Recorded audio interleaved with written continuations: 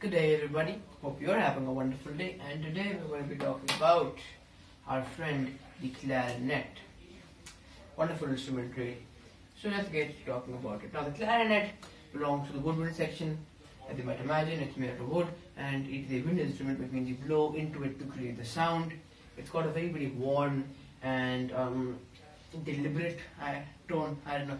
Now, one second. Tones are, for me, very difficult to describe them. But it's got a very, very warm and of deliberate tone to it.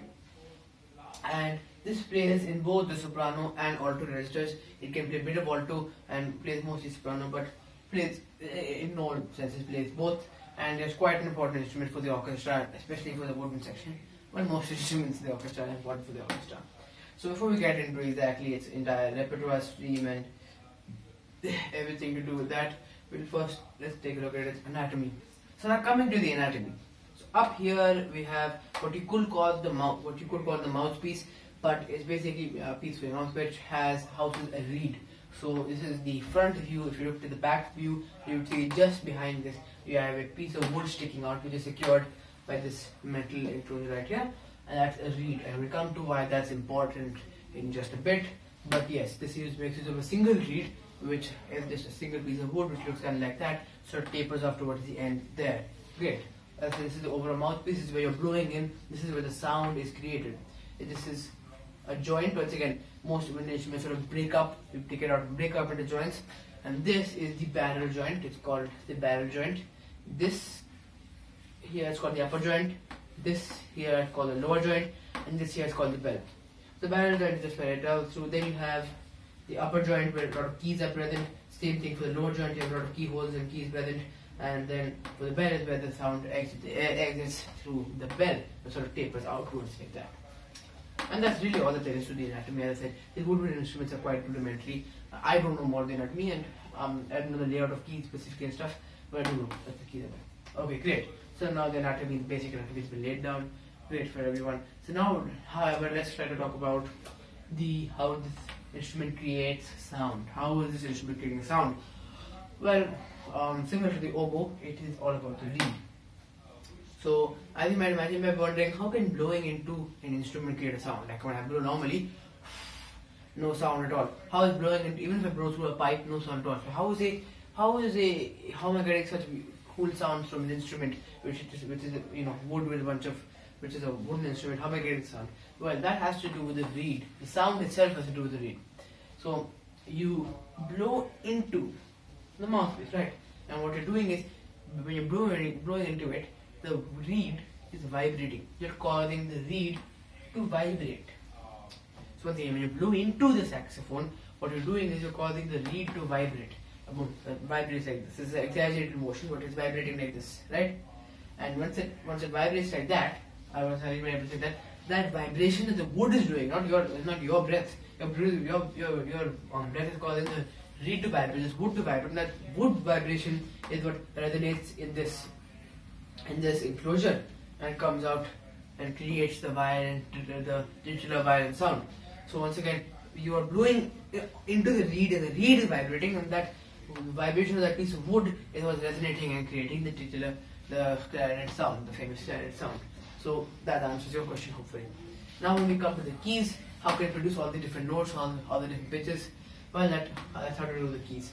Um, if you're watching all these videos in sequence, I'm sure I must sound redundant, but just in case you haven't seen the other videos, the basis upon which all woodwind instruments work is that if you force air to go through a small pipe, a small portion, a small pipe, it will have a high sound. And if you force air to go towards a large pipe, it will have a greater sound. It will have a, sorry, what am I saying greater? It's going high, low. So longer pipe, lower, shorter pipe, higher. Right? That's the basis upon which all woodwind instruments work. And now my brass instruments tend to make this make, like actually make it longer and shorter.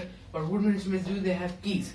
So when you're not pressing any keys, it's going coming like this and it's going out from the first two keys, right? Or going out from the first key. I'm not aware of the exact specifics, but my point is they go out from the first few keys.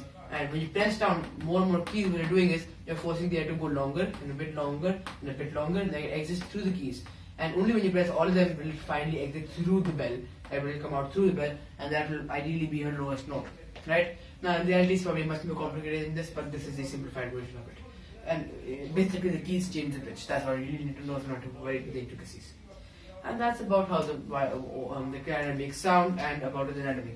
As the clarinet has a very very deliberate and very very warm tone, very very warm timbre, and that's something that's quite useful in the orchestra. And due to this to its very deliberate sound, again I, I'm using the same adjective. I don't really know how else to describe it. So hearing it for yourself is going to be much better. Okay. Anyways, so yeah, so that that sound it has is quite suited for melodies as well. So just like the flute and oboe are both suited for melodies, this is also suited for melody. Most woodwind instruments, most most most woodwind instruments, in fact, are suited for melodies. And as I said, this is suited for melody. Great. Now this plays in the soprano alto register. I already talked about that, which means it's playing the higher parts but also the middle parts. So you can play both, right? And you usually find it more towards the middle side. So if the oboe is playing the higher parts, the flute is playing the high and very high parts, You'll find the clarinet slightly lower on the chain. It's playing the slightly more middle parts. Not very high, not very middle, just in the middle. That Sounds just kind of confusing, but if you are familiar with the terminology, it plays in the alto register as well as the soprano register, in between them and in both. Okay, that being said, just come to its role in the orchestra and in other ensembles. Okay, now in orchestra, as I said, it participates as part of the woodwind section. And if the flute is the leader, this is kind of like the co-leader. I mean, it really depends. The violin is definitely the leader of the string section, whereas as I said, the woodwind is slightly more loosey-goosey. The flute is often the leader. The clarinet can also often take charge. So clarinet is important, don't overlook it. It's almost as prominent as the flute, sometimes in some cases more prominent. So point is, it sort of along with the woodwind section, supports it in the orchestra, adds more color, adds accompanying melodies, adds accompanying harmonies, everything necessary, and it plays the middle parts for the woodwind section. So when you've got a woodwind section consisting of a flute, a oboe, a clarinet, and a bassoon, that's it. That's usually the woodwind section which you have. You usually don't have instruments like the English horn and the bass clarinet and everything there. Those are very, those are not very common. Right? So if you have these four instruments only, the clarinet is going to be playing a lot more alto than you might expect because it needs to fill in those middle pitches which are lacking from the other instruments like the English horn. Right. So, indeed, what you'd find is, is that the um, hmm, so the clarinet plays the middle parts uh, in the piece in the woodwind section. So it's supporting. That's how it participates in the woodwind section. And the woodwind section itself is once again supporting with melodies and harmonies and sort of bringing making the orchestra sound more colorful and more whole. This plays a big part in that big part, trust me.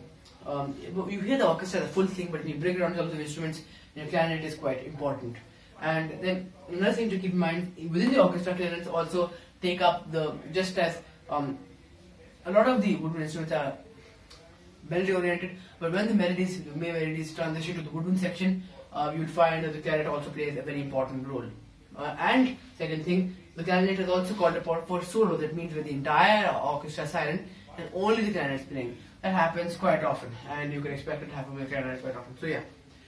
So the clarinet does a very good solo that participates in the main melody when the woodwind is playing the main melody quite well. In the woodwind section, it plays the middle parts, and when the woodwind section is supporting, it helps to support the orchestra with uh, melodies, the string section with melodies and harmonies and accompaniment, and making the music sound more colorful and whole. You have to sum it all up. That's indeed true.